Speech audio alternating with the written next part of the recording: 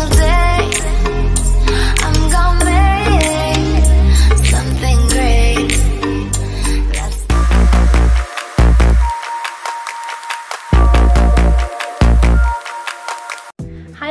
Welcome back to my channel. So today's video, we are going to do a makeup challenge from scratch. So ayan guys, bakit nga ba from scratch? Kasi yung gagamitin natin na ilalagay natin sa ating mga mukha ay yung kung ano lang meron tayo sa ating makeup kit or kung ano meron tayo sa ating bag. So, kaya tinatawag ko siyang from scratch. Okay, so without further ado, ipapakita ko sa inyo kung ano yung mga gagamitin ko. It's from Maybelline Dream Satin Skin. Ito. And I'm in the shade 4. Hindi ako, hindi kasi siya nag, ano, for our brows. What we have here is this. Hindi ko alam kung anong brand niya guys, pero makikita to sa iba't ibang department store sa Gesano Mall, para ganyan. And then next is our Everbelena na advanced or itong DB Flawless um, Whitening Compact Refill and I'm in the shade or Match Oriental. For our lipstick guys that we have here is or I actually have four lippies.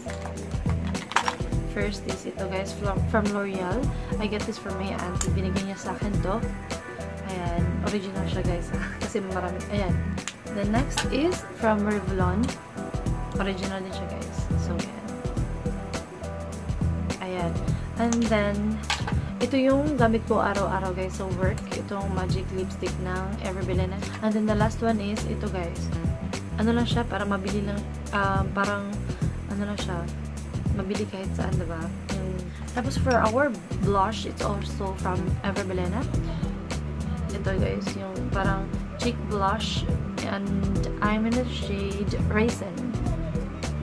So guys, um, kung magtataka kayo kung bakit wala tayong mascara na gagamitin. Kasi nga, kahapon or nung isang araw nagpapalagay ako ng eyelash extension natin. So, ang gagawin lang natin ay parang iaayos lang natin pagkatapos ng lahat-lahat ng proseso. So, ayan. It's the darkest brown. Tapos ito, brown. Tapos may brush-brush siyang ganyan. Tapos, ayan guys. Okay, so without the further ado, simulan na natin kung paano or kung ano yung resulta sa ating makeup challenge from scratch. Okay, so please keep on watching. Ayan guys, magsimula tayo sa ating foundation. So, ito yung Maybelline Dream Satin Skin. Maglagay lang tayo ng konting-konti kasi yung tatabunan natin ay yung dark circles area lang. Katulad ng ating eye bags, tapos yung dark spots ng ating mukha. Yung sa noo guys, hindi ko na siya masyadong nilagyan kasi ang importante lang naman yung dark spot. So, ayan. Pagkatapos niyan, lagyan na natin ng setting, uh, setting powder. Since wala tayong, ano, um, makeup brush, ito na yung gamit natin, yung sponge na kasama sa ating powder. Tapos, idab-dab lang natin, guys, para hindi matagal yung ating foundation. So, ayan, light lang ang pag-dab. Yan. Then pagkatapos, maglagay na tayo ng ating eyebrows. Huwag na natin masyadong kapalan para hindi naman pangit tingnan. So, ayan. Huwag natin kalimutan i-brush para hindi naman siya parang ang ano, napakakapal tingnan. Then, kung sa tingin nyo pantay na yung ating kilay, maglagay na tayo ng ating eyeshadow. Ito guys, konti lang yung ilalagay ko. Tapos dark brown lang ang ating ilalagay.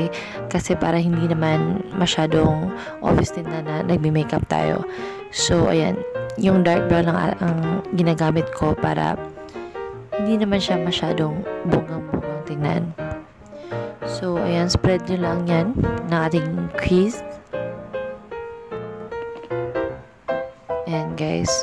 Napaka-simple lang yan guys. Then, for our nose line, maglagay tayo konti since hindi naman mataas yung ating ilong. so, ayan. Nipisan lang natin. And then, i-smudge-smudge lang natin guys. Para hindi naman obvious. And then for our blush, i-light lang natin guys. Hindi natin masyadong kapalan. So, ayan. I-blend lang natin ng mabuti para hindi naman siya harsh tingnan.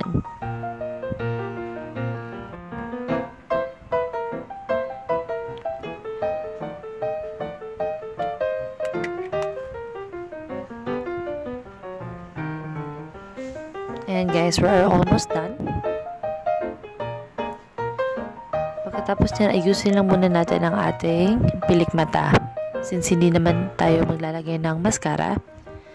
And then, pipili, ah, maglalagay na tayo ng at- ating lipstick. So, ayan.